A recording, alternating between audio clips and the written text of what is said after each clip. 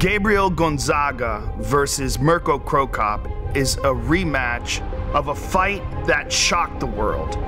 If you look at Mirko Cro Cop's highlight reel, it's one kick knockouts over and over again.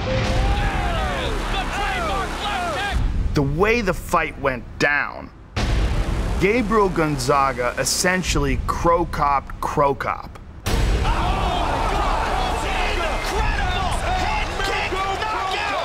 The fact that Gabriel Gonzaga was able to do to him what Cro Cop did to so many others has got to be chewing away at the psyche of a great champion like Mirko Cro Cop.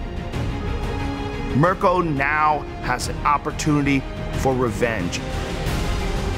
Both guys are going to go at it in this rematch. Both guys are legends, and for Mirko, a unique opportunity to avenge one of his most disappointing losses.